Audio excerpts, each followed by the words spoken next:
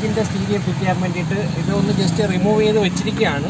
ഞാൻ കാണിച്ചു തരാം ഏതൊക്കെ പീസുകളാണ് നമ്മൾ ആദ്യം ആദ്യം റിമൂവ് ചെയ്യുന്നതെന്നുള്ളത് ഫസ്റ്റ് ഇതാണ്ട് ഈ പീസാണ് നമ്മൾ ഊരുന്നത്. ഇതിനകത്ത് ഇതുപോലെ ലോക്കുകളാണ് വരുന്നത്.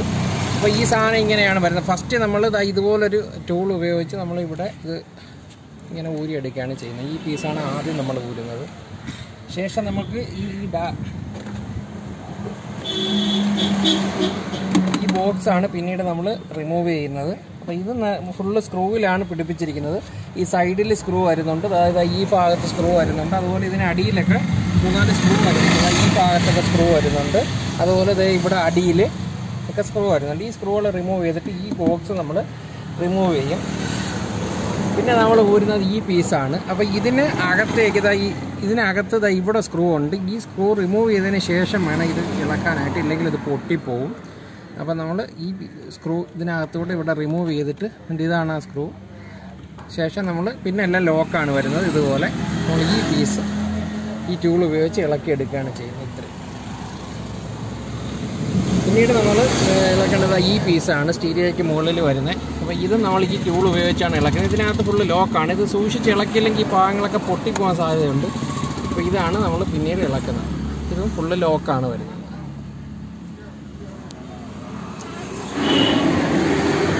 ഇത് ഇവിടെ രണ്ട് സ്ക്രൂ വരുന്നുണ്ട് ഇവിടെയും ഇവിടെയും. ഈ സ്ക്രൂ നമ്മൾ റിമൂവ് ചെയ്യാണ്. മതി.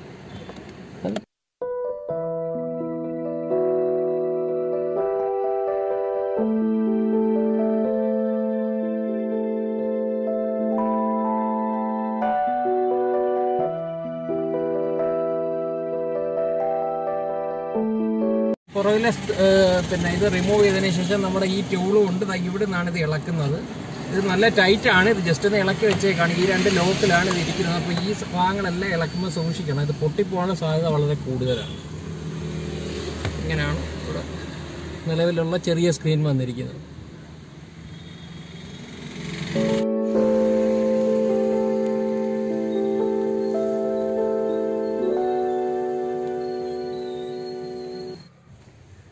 ഇതിന് യാതൊരു രീതിയിലുള്ള വയർ കട്ടിങ് ആവശ്യമില്ല. ജസ്റ്റ് പ്ലഗ് ആൻഡ് പ്ലേ ആണ്. അപ്പോൾ ഇതിന്റെ സ്റ്റീരിയോ വരുന്നത് ഈ ഡാഷ്ബോർഡിനടിയിൽ ഇതാണ് ഇതിന്റെ സ്റ്റീരിയോ അപ്പോൾ മുകളിൽ ജസ്റ്റ് ഒരു സ്ക്രീൻ മാത്രമേ വരുന്നുള്ളൂ. നമ്മൾ ഇവിടാണ് ഈ ക്യാൻവസിന്റെ വയറിങ്ങും കാര്യങ്ങളും ഒക്കെ കണക്ട് ചെയ്യുന്നത്. അപ്പോൾ നമ്മുടെ പഞ്ചിന്റെ വർക്ക് കഴിഞ്ഞിട്ടുണ്ട്. അപ്പോൾ ഇതാണ് ഫിറ്റ് ചെയ്ത് വരുമ്പോഴുള്ള ഫൈനൽ ഫിനിഷിങ് അപ്പോൾ ഇതിൽ സ്റ്റീരിയോ സ്വിച്ചുകളൊക്കെ വരുന്നുണ്ട്. ആ സ്വിച്ചുകളെല്ലാം വർക്ക് ചെയ്യും. നമ്മുടെ പുതിയ ആൻഡ്രോയിഡ് സ്റ്റീരിയോ ആയിട്ട് എല്ലാം കണക്റ്റ് ആവും. അതുപോലെ സ്റ്റിയറിംഗ് കൺട്രോൾ വരുന്നുണ്ട്. ആ കൺട്രോൾസ് എല്ലാം നമ്മുടെ പുതിയ ആൻഡ്രോയിഡ് സ്റ്റീരിയോയിലേക്ക് കണക്റ്റ് ആവും.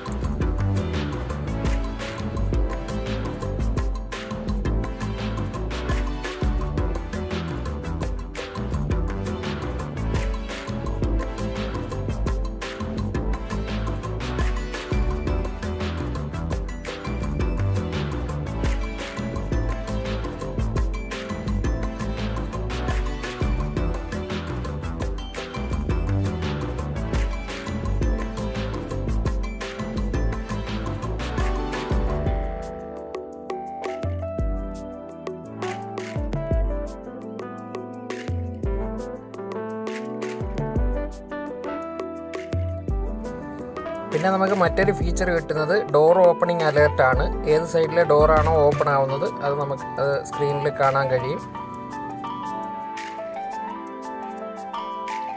പിന്നെ നമുക്ക് ഇൻബിൽഡ് ആയിട്ട് വാഹനത്തിൽ വരുന്ന റിവേഴ്സ് സെൻസർ ഇതിനകത്ത് കിട്ടും. അതുപോലെ തന്നെ നമ്മളുടെ നമ്മളൊരു റിവേഴ്സ് ക്യാമറയും കൂടി ഇതിനകത്ത് ആഡ് ചെയ്തിട്ടുണ്ട്. ഒരു മൂവിങ് ലൈനുള്ള ക്യാമറയാണ് ഇതിനകത്ത് കൊടുത്തിട്ടുള്ളത്.